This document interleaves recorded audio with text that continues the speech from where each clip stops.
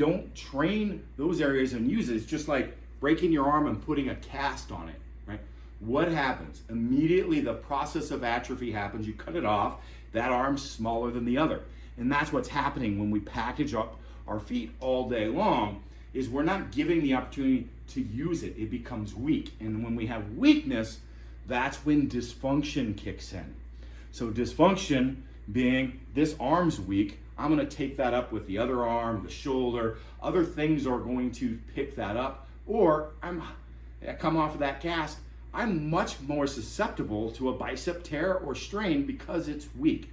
So we have both the body compensating during the cast, it's moving the loads around, and then increasing the injury directly in that area as well. So this is the whole thing. And the, these concepts, I've got this vehicle here, we copy these concepts in an engineering stand front as well.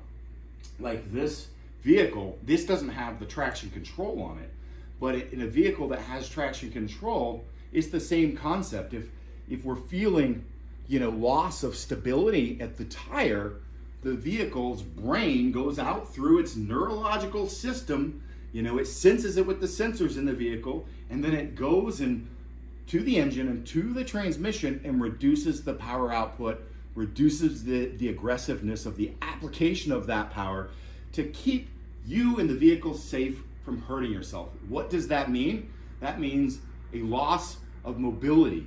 We've got loss of ability to engage the muscles and engage them to their full range of motion. The body starts limiting its range of motion and limiting its amount of strength that it can apply.